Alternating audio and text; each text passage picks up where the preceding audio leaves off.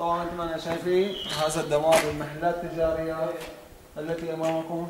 هذا الشارع طبعا ليس بإمكاننا أن نقطع على الجهة الأخرى أو نقف في وسط هذا الشارع نتواجد القناصات المنتشرة على الأسطح في كل مكان.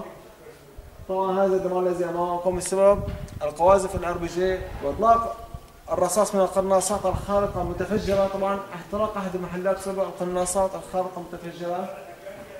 وهذا هو أعمدة الكهرباء التي أمامكم. طبعا لم تسلم من القصف العشوائي.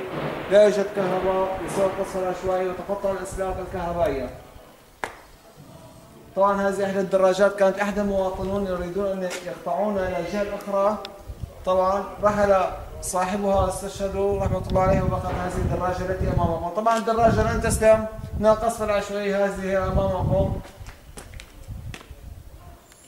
هذا هو الشارع الحزين كما ترونه.